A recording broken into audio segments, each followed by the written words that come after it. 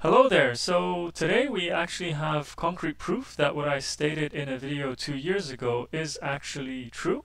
Um, so I will go to that video. So back then um, I stated that um, wider tires are not always better.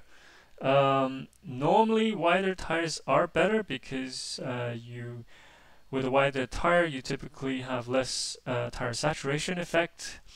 Um, from um, um, um, from load transfer, uh, and therefore typically uh, going to a wider tire will result in a faster lap time.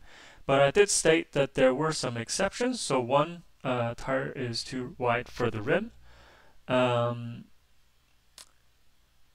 two is if the car is too low powered relative to the tire, and I stated like this was uh, not for uh, not necessarily for very low powered cars. It can also be cars up to you know 200, 300 horsepower.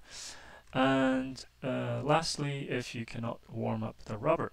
And in this video from Tire Rack, uh, what they did was um, they were using a uh, a very track focused tire, uh, Bridgestone Potenza RE80s. Uh, RE71 RS. They were using um, quite a typical track day car. Um, a GR86. Uh, oh, thorough testing on it. So that's what we set out to do. We're using. Where? Yeah, so they use a GR86, uh, 2.4 liter, about 230 horsepower. So, um, you know, not that low powered. Um, and their results. Um, so as you can see, you can definitely go um, too wide for the the amount of uh, tire rim, um,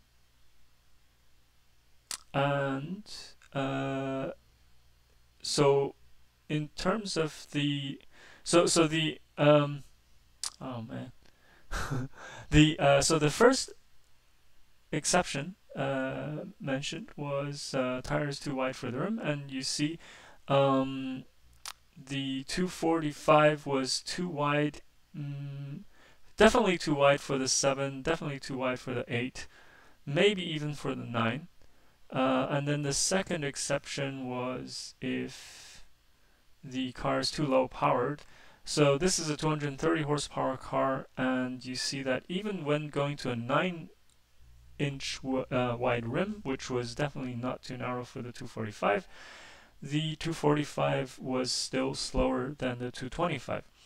And uh, Tire Rack even made sure to go down um, in the uh, um, in the aspect ratio so that the uh, exterior diameter was kept the same, therefore didn't change the gearing when going from 225 to 245. Um,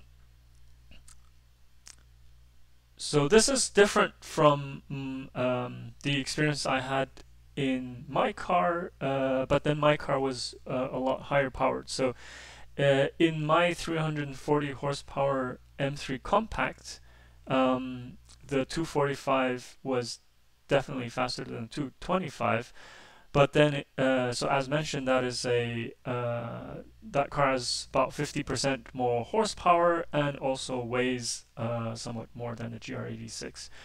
Um, so I definitely recommend uh, checking out this video. Um, there were some interesting trends. So um, the narrow rim uh, typically with with all across all the tires the the, the comment was that the car is more lazy and easier to drive but easier to drive at the limit uh, but slower. Um, and uh, this is you know what you would expect because the the tires are you know a little bit more like a balloon. Um, and um, the wider rim uh, stretches out the the the tire sidewall and therefore um, the the lateral um, uh, compliance is, is much uh, much less. Um, so having a wider rim, the, the, the car feels more direct, more the breakaway is more abrupt, so the skill required from the driver is, is higher, but um, the, the car ends up being faster. Um, and yeah, as mentioned, um, there was definitely it, it was definitely possible to go too wide uh, with with this car. So it seems like um, uh, with a 230ish horsepower car, then uh, going much above 225 uh, doesn't make sense. But of course, this depends on the track as well. If if the track has much higher uh, cornering energy, uh, it might be that um, the a a somewhat wider tire can still give benefit.